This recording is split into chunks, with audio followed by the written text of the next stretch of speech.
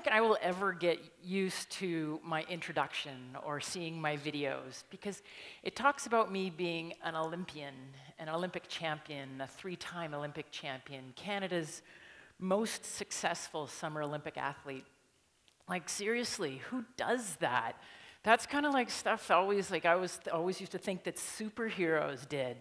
And when I think of the Olympics, when I grew up thinking of the Olympics, I always used to think it was superheroes that went, you know, like Buzz Lightyear to infinity and beyond. Like, who gets to reach for infinity? Like, I, I just always thought of myself as a normal person, and I grew up, I grew up actually in Etobicoke, and, uh, you know, apparently I've had funny curly hair since I was born.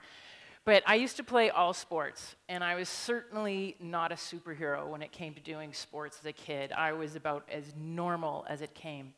I did baseball, I was normal. Soccer, I was normal. I have extraordinarily normal agility. I have extraordinarily normal hand eye ball coordination. I have below normal sprint speed. I, when I did soccer, when I did basketball, I, okay, I, I, do have a little sport claim to fame. In Etobicoke, I probably hold a record in basketball. In the first four minutes and 15 seconds of the first quarter, I fouled out. I don't think anyone has ever fouled out of a basketball game faster than I did. I was just like the normal kid with no skills. And I was going through, and that's sort of how, what I was doing. But you know, one day I found rowing. And suddenly I didn't feel so normal because I kind of got rowing and, and it started getting into my ego. It started, I started thinking I was pretty good. And it didn't hurt that I started to win stuff. You know, with my partner Kathleen, you start feeling like a superhero because now I've got gold medals. And truthfully, I have a lot of gold medals. This is, this is actually just a really small sampling of the gold medals. This is just like kind of the big ones. This is world championship medals, uh, let's see, world championship medals, Olympic uh, medals, and, and mostly all golds, too, by the way, because, you know, silvers and bronzes, whatever. Um, so, so there's uh, Olympic medals, world championship medals, Commonwealth Game medals, Pan Am medals. I got Canadian national championship medals, U.S. national championship medals, but they're kind of easy to win. Um, I got a lot of medals, and I start thinking, uh, you know, this is pretty good, but you know, nobody cares about these medals. All you ever care about, all people ever talk about are my Olympic medals. And really, you know what? All you ever talk about are the three Olympic gold medals. Like, who cares about the bronze, right? I care about the bronze. The person who was fourth cares that I have the bronze. But you know, if all you want to care about, if all you want to think are my superhero medals are the golds, that's fine. Because when you win that many gold medals at the Olympics, you know what? You actually do feel like a superhero. Okay, fine. I grew up and I started thinking that I became a superhero. But there was always this one thing. Every time I started to think I was a superhero, something happens to remind me that I'm a normal person. So I'm going to my first Olympic Games, right? And now this is like opening ceremonies kind of stuff. This is the stuff we all dream of. When we watch the Olympics on TV, you know, we dream of it. And that normal kid growing up, I used to watch four to six hours a day of TV. So when the Olympics came up, that like ballooned like crazy. I watch a lot of TV. So now I'm like, I'm gonna get to be one of those Olympic superheroes. I'm going to get to go to the Olympic Games and the opening ceremonies. That's like 100,000 people. And there's fireworks and the Olympic rings and the parade of nations. I'm going to get to walk in with all the other Olympic superheroes, the Canadian superheroes, in my Olympic superhero uniform. And when they say Canada, I'm going to get to wave because every one of those 100,000 people are there and they're cheering for me. And this is awesome. I'm so excited. This is going to be my superhero moment. So, my first Olympics was back for the, the Barcelona Olympics. And I tend to like to refer to them by the city because that doesn't age me so much. But I'm going to go with it. It was the 1992 Olympics. And I remember when I got my kit bag, you know, the bag that comes with all the uniform, my superhero uniform. I'm pretty stoked about this. This is, I'm not going to lie. I've got all this free stuff, because sometimes we refer to the Olympics as 16 days of free stuff. And here I go. And I'm like ripping this thing open because I want to see my superhero uniform. And I like open it up and I'm like, what the hell? This is not what I was expecting. So now, right now, when we watch the Olympics, when we watch the Sochi team, we watch the team go to London, HBC dresses them and they look fabulous. Like our team, the Canadian team, looks like superheroes. So much so that we all go running down to HBC and we're like, I'll take those mitts or that toque or that jacket. I'll have that sweatshirt. Absolutely. I want to look a little bit like one of those superheroes. And I'm like, no, that's not what I got in 92. You know, 92 was an HBC, and it wasn't even Roots. And Roots did a great job of branding us, wanting us to walk around red, wearing red and white and Canada on our back. No, it wasn't Roots. I don't know who it was who was designing the team's uniform, the superhero uniform for the 92 Olympics, but they missed the memo on red and white, right? So I, I remember I, I, pulled out the shirt that was supposed to be um, our opening ceremony's uniform, and I'm looking at it, and quite honestly, the best way to describe what this piece of uniform looked like was Mediterranean, multicolor, mosaic puke. Like, it was so terrible. When I brought that back home to my mom, it was so bad my mom didn't want it, right? So I've got this Mediterranean mosaic puke jacket to go with the skirts. So proud to wear skirts. Huge shoulder pads, a bright, bright yellow blouse, bright yellow blouse, these, these clip on yellow earrings that were supposed to, I don't know, represent the Mediterranean sun or something like that. Of course, let's go with the stereotypical yet bad uh, white cowboy hat made of, I don't know, not what cowboys would wear. And you're just sitting there, and I'm like, not so superhero. And so they're looking at us right before we walk into the opening ceremonies, and they're like, you guys don't really look very Canadian. We should give you something that'll make you look a little more Canadian. And uh, 1992 was Canada 125, and there happened to be a couple crates of these, let's generously describe them as flags. So they're like, well, let's give all the athletes these flags. So we all got this thing, and we're like, what are we supposed to do with this? And they're like, well, put it on your hand. So, this flag thing best, can best be described as a pot holder in the shape of a maple leaf. So, I can tell you, without any exaggeration, it's really hard to feel like. it's really hard to feel like a superhero when you're dressed like this. You know, so once again, I realize I, I'm put on this, this planet as a normal person with an opportunity to do some pretty special things. So a week later, uh, my rowing partner and I, Kathleen Heddle, we, we, we, I think we crossed the Rubicon into superhero territory. I'm like, well, if it wasn't the opening ceremonies, then crossing the finish line at Olympic Games first, you start to feel a little bit like a superhero. You can't help it. Like, we crossed it first, ahead of the Americans, ahead of the Germans, ahead of the, the French and the British the Romanians, the Bulgarians, ahead of them all, we crossed first. And with that, yeah, with that, we're going to get to sing the national anthem. Like, this is definitely superhero moment. And now, remember I told you that normal kid used to watch a lot of television, and I used to love watching the Olympic Games. Part of that, when I watch the Olympic Games, I like to see the athletes sing.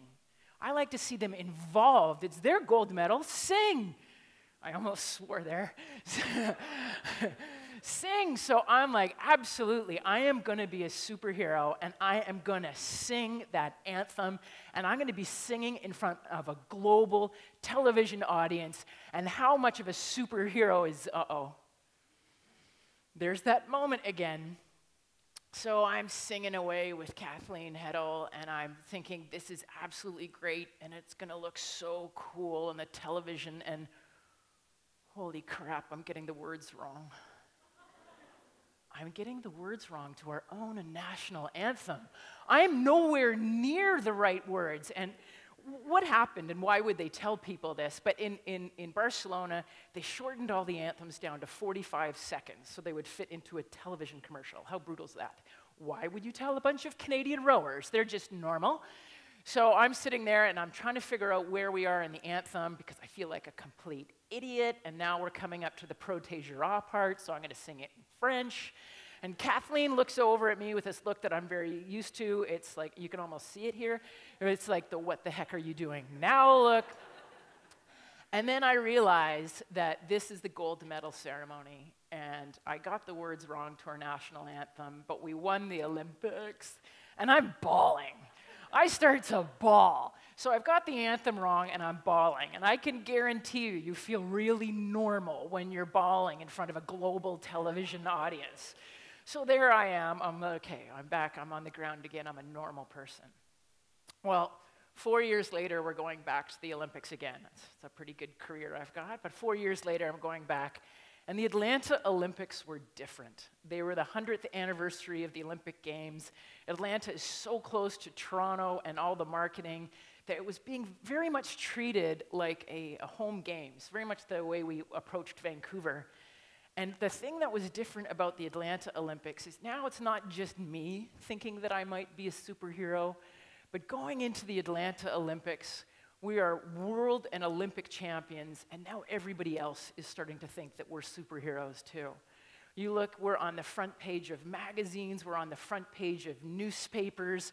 Oh my God, my parents think I'm a superhero now. When, your when you cross the line and your parents think you're a superhero, you're doing something right. So my parents think I'm a superhero and that we can win the Olympics. And you know what? We knew we could. And so we go in with all this potential. But there was a couple of things to do first. And before you get to be a superhero, you have to do something super. And I remember this is the start line in Atlanta. And the thing was, as much as we wanted to go and be superheroes and win this race and win a, another gold medal for Canada, at the bottom of the screen is the Germans. And they have won the last oh, six Olympic gold medals in this event. Beside them is the Dutch. The Dutch last year and the previous year at the World Championships in a seven minute rowing race, it takes two, 2,000 meters, takes seven minutes. We beat them by 0.04. And the truth was, the Dutch had been winning the whole race, and the stroke where Kathleen and I took the lead in that race happened to be the stroke where we crossed the finish line. The Dutch have spent the whole year being totally pissed at us. They, they think that they can win this race. The next boat, the white boat there, is Kathleen and I. Then you have China. They're the only crew to have beaten us at a World Cup earlier that year in Munich. They think we're vulnerable. Then you have New Zealand has been the world champions twice in the last four years, and Australia at the top. They are like that young crew coming up. They're going to have a fabulous career. We just don't know when it's going to start. And so I'm sitting there and we're waiting to start right there, which is the worst thing before any big task we do, before anything that scares us, before any of our infinite dreams and our big challenges. The hardest part of any task is waiting to start. And at that moment, right there, Kathleen and I are waiting to start. And there's two things I say to Kathleen, which is amazing for someone who talks so much that there's only two things that I say to her at that moment. And the first is breathe. We have to relax. We have to focus. We have a race plan. We have a plan. We have to stick to what we know because nothing will help us cross the finish line faster than focusing on task. If all we're thinking about is being a superhero and winning, we will never get there. And so I say task to Kathleen, and then I say this, the last thing I'll say to her before we go, and it's outlast. Because the thing we know about hard, challenging things is that the way we're going to win isn't by being the best, because we actually know everybody in this race is already the best. They're the best in their country. On any given day, they can be the best. But today, we need to outlast them. And we took off. And for the first thousand meters, for the first three and a half minutes, it was like this stroke for stroke six boats right across. In a seven minute rowing final, my heart rate will be between 196 and 204 beats per minute the entire time. At any point in time, the amount of lactic acid in our system is toxic. If I were to take that amount of lactic acid that I could handle then and put it into my body, let alone any one of your bodies, we would clump on the floor in a toxic mess of pain and ah. You will never see a rower do a victory lap. so here we are halfway through the race, and it's like tight. It's all, no one's giving anything up to us, but that's okay because Kathleen and I have a move. And we make a move at about 1,000 meters halfway through the race, and we go 30 strokes, takes us 300 meters, 30 strokes with an incredible burst of energy, and it works. And we break out into the lead, and that's fantastic. And this is when we start to think about outlasting. This is when we know we have to outlast them because our, the way we burst with energy is no different than when you have a budget. Where you spend your money, you don't have it to spend later. So, what we spent at the thousand, we know that everybody is going to be spending on us later, and they start to do that. And they catch up. And as we're coming into the last 250 meters, the last 25 strokes of the race, the Chinese and the Dutch have caught up on us so much that I can hear them talking. I have no idea what they're saying, but I can hear them talking. You know, I can hear that they're getting excited. They've closed the gap. And then I've got 20 strokes to go, and there's 16,000 people on my right side. There's another 3,000 people on my left side going bananas. It's the Olympic finals. Kathleen can barely hear me. And I look, I'm, I'm like sitting there, and I know I've got 10 strokes left to go, but I'm hitting like my Mission Impossible moment now. These 10 strokes now, I'm starting to feel super normal. I do not feel like a superhero right now. I only have 10 strokes left to get us to the finish line, but I don't have 10 strokes left in me. I have spent all of my energy.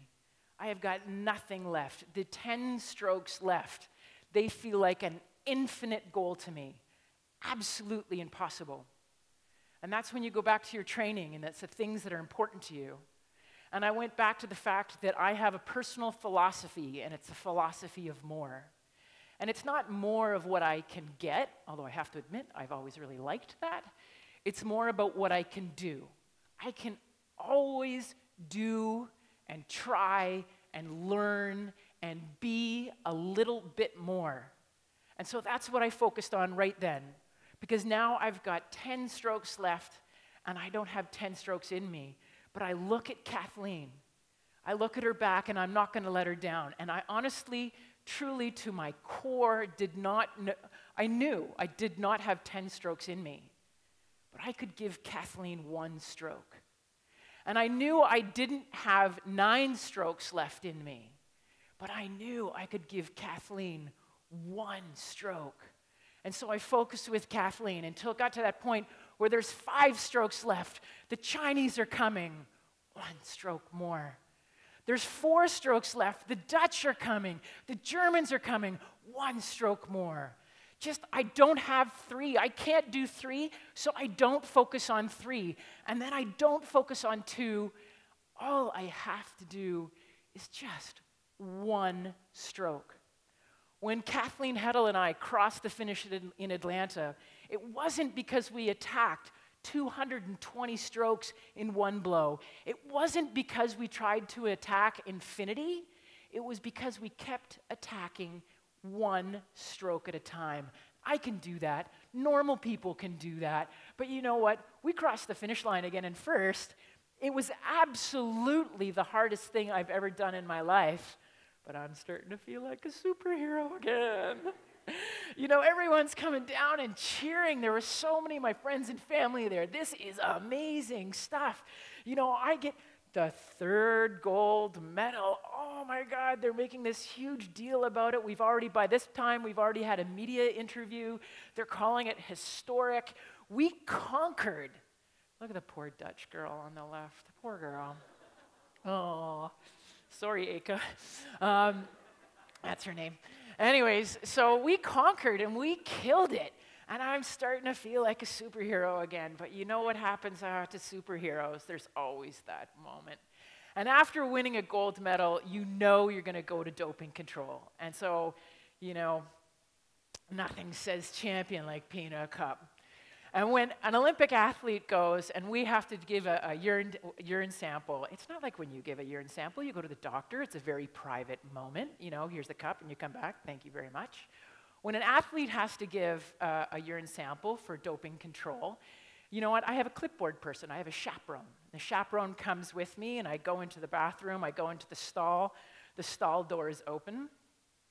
Hey, I'm required to pull my top up to my, my bra strap. I'm required to pull my pants down to my knees.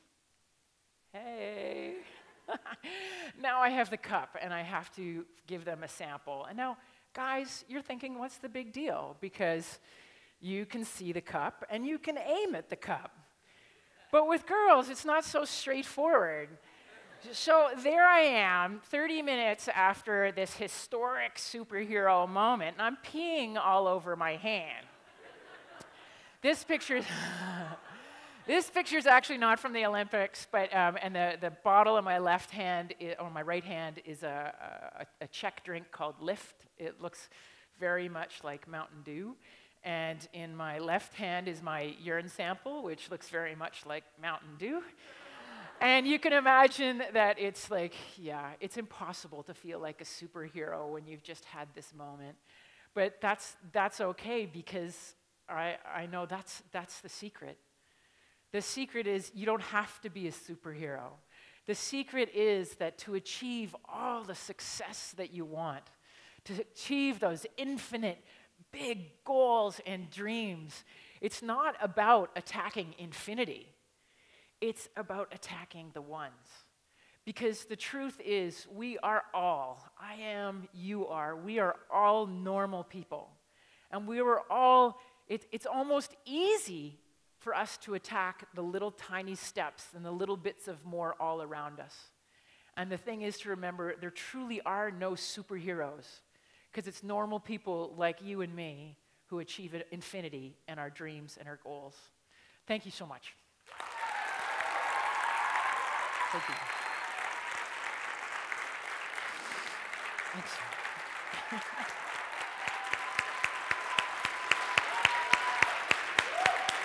Thank you.